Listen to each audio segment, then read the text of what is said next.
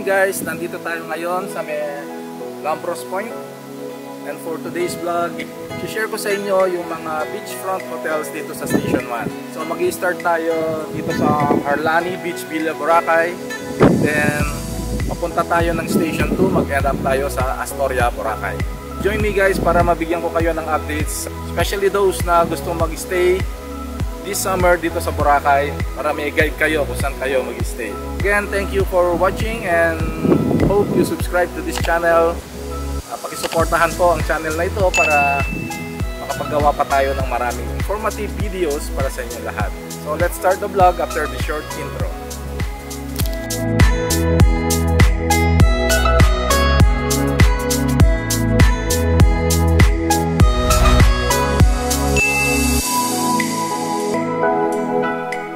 Okay, let's start here sa Harlan Beach Villas.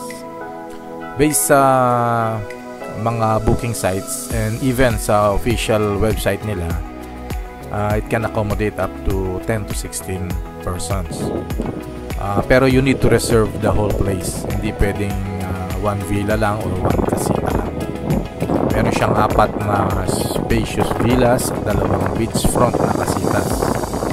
So, okay ito sa mga big groups na gustong naka-experience ng luxury beachfront staycation. Uh, by the way, uh, posted sa screen ay some info about the hotel. Yung current rates nila.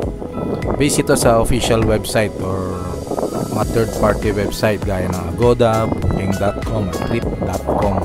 And uh, if you want to know more about the details of the hotel, please kindly check nyo na lang sa mga sites nila. Also, this is the beach view ng Harlan Villas.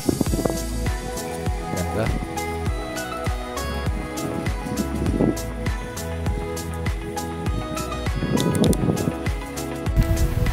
Next ay ang Mayumi Beach House. Itong Mayumi Beach House, uh, just like nung Harlan, uh, you need to book the whole place. Sa website nila makikita nyo doon yung interior ng place. Check nyo na lang sa official website nila kung interested kayo dito. Ito naman ang The Lind. Actually pag andito ka sa part ng White Beach na to you will really notice na medyo tahimik. Less ang crowds and um, more relaxed ang ambience. And dito sa station 1 down to station 0 dito nyo matatagpuan yung mga high-end hotels ng Boracay. After ng Dalind meron ditong board up ng bamboo. Opening soon pa siya. Fridays Boracay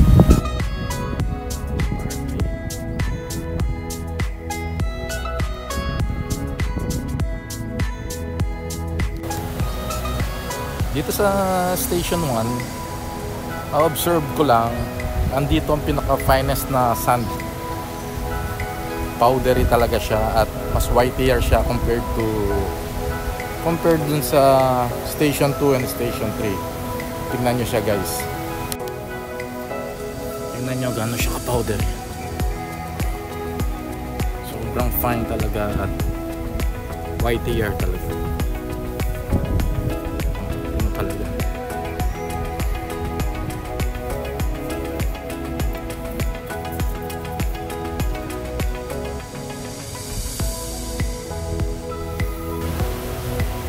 next nandito naman tayo sa Discovery Shores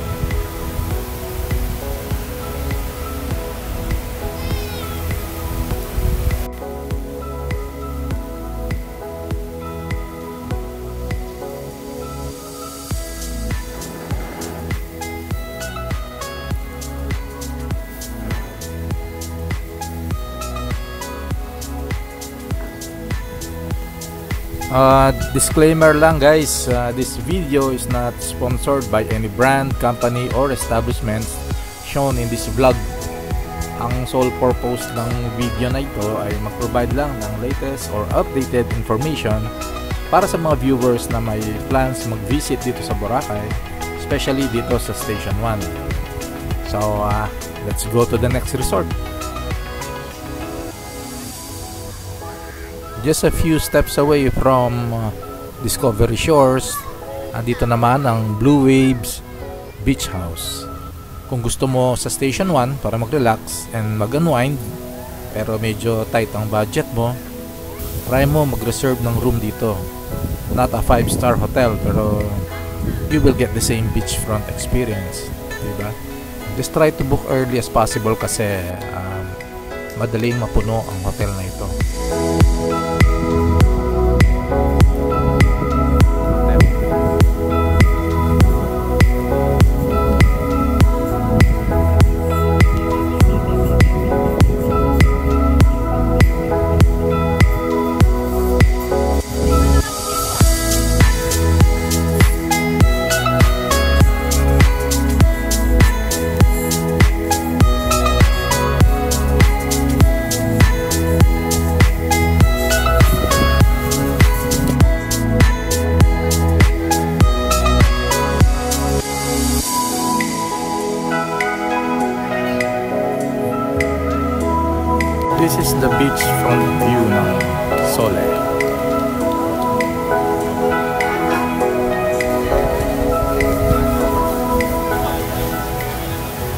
Next ay ang Henan Prime.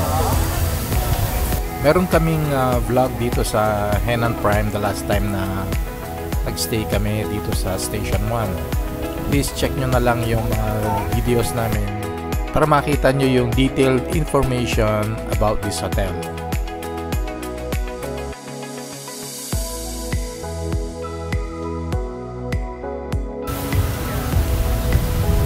Then, pagkatapos ng Henan Prime, dito na tayo sa Two Seasons. Dito yung masarap na four cheese pizza at oyster sisig.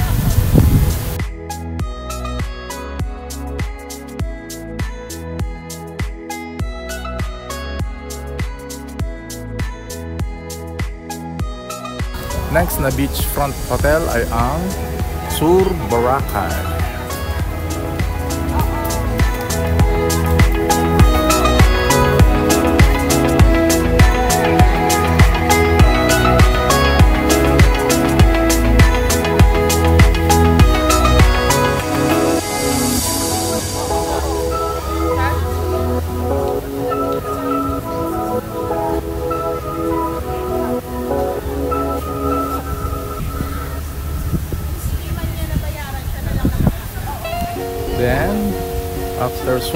Nandito yung White House.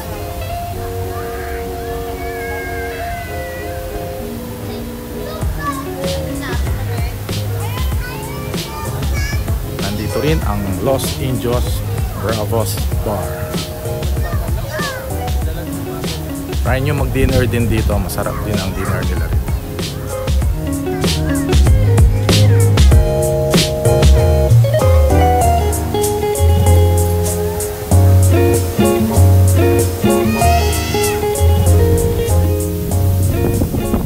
Naman ay ang Seawind Beach Resort. Ang Seawind ay isa sa mga original hotels dito sa Boracay. Way back 2011, no, first time namin pumunta dito, andito na sila.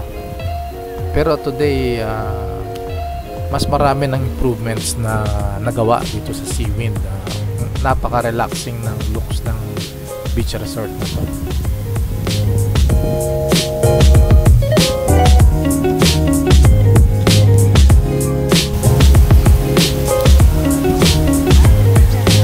Stasio 1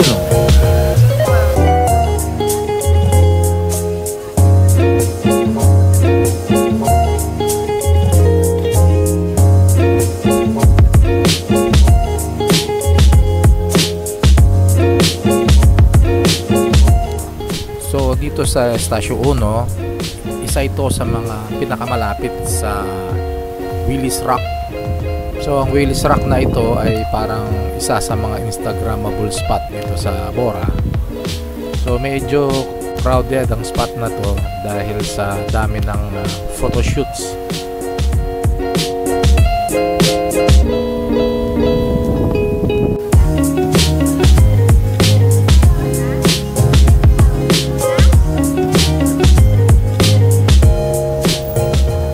Then next ay ang seaworthy Boutique Hotel.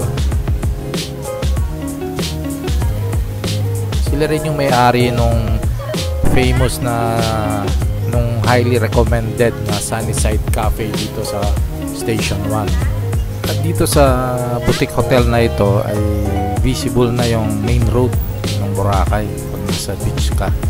So pag nandito ka na sa part na ito ng Station 1, parang a minute walk na lang yung ano main road to the beach itself.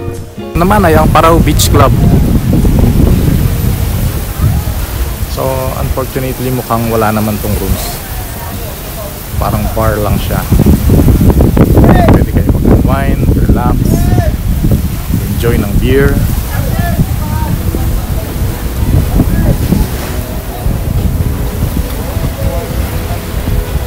while getting this amazing view. After ng Seaworthy, makikita mo tong lines of establishment na under renovations or yung iba siguro abandoned na.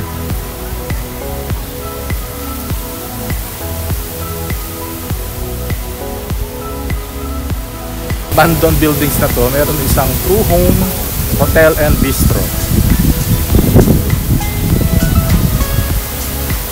Parang nag-iisa lang siya dito.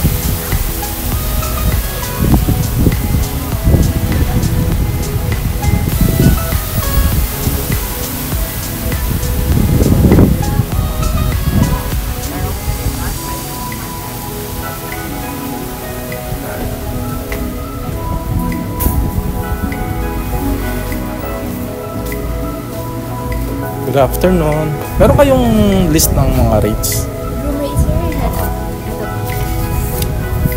Ah, sige, kunin ko na lang ha. Sure. Thank you. Salamat.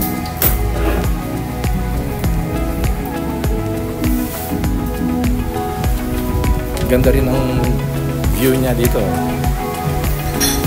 Nice. Next ay uh, another highly recommended na resto dito sa Boracay ay ang Obama Grill or Bama Grill. Actually, ito yung resto bar ng Shore Time Hotel.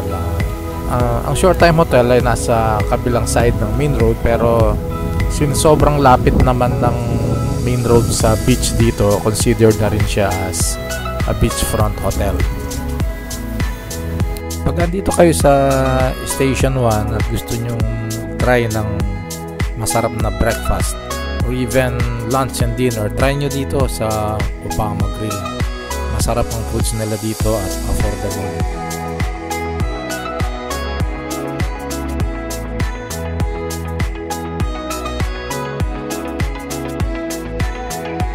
Ayan na yung main road oh. So in between nitong resto na to ay road na at saka ang beach.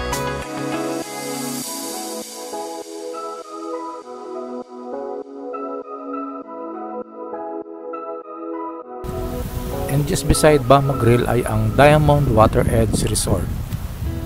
So same ng Bama Grill, meron din siyang building across the street. Ah, tawag nila ay annex building and then meron silang mga rooms dito sa beachfront building nila.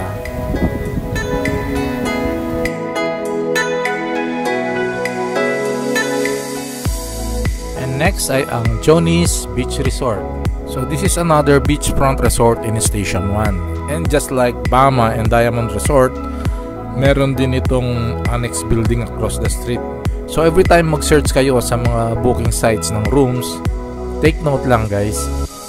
Make sure nyo lang na yung rooms na i-reserve nyo ay either nasa beachside or sa roadside.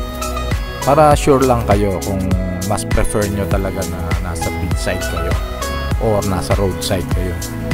Anyway, dito naman sa Station 1 ang distance between main road at saka yung beach eh, sobrang lapit lang.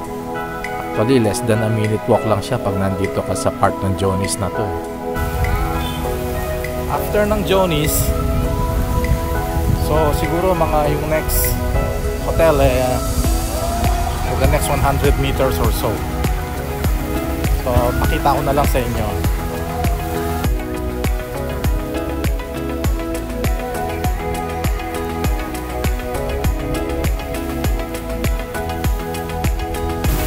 So syempre nandito lahat ng mga ayaw ma-sunburn.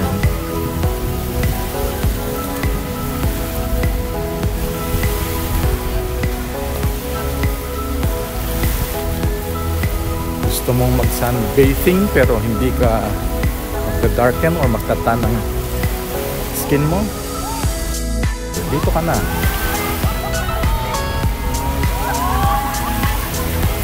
Sa na ito.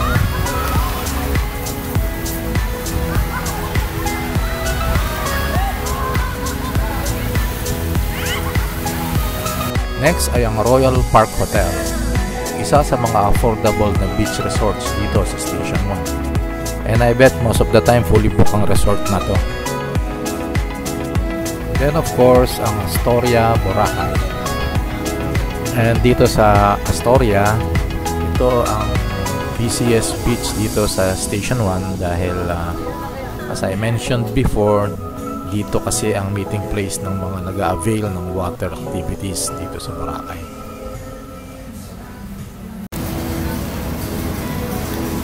El Puerto Boracay Shore in between Yellow Cab and Astoria. Ito naman ang beach front view niya.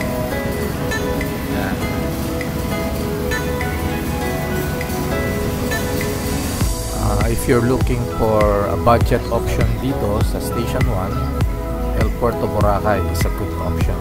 Check nyo na lang sa official website nila kung paano mag-avail ng reservations. The Muse Hotel Boracay.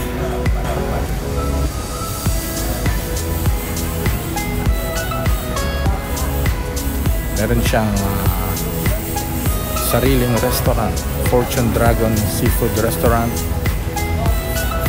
Dito sa left side niya ay meron silang Seafood Oysters Bar.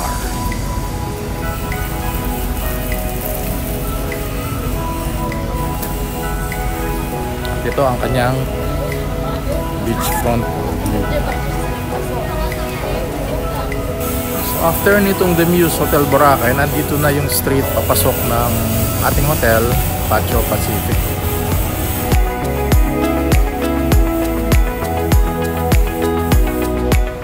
Maraming salamat muli sa mga viewers. Sana nakapagbigay ako ng updated na information sa inyo para maging guide nyo sa next visit nyo dito sa Boracay. So, see you on my next vlog. Bye-bye! Swimming na!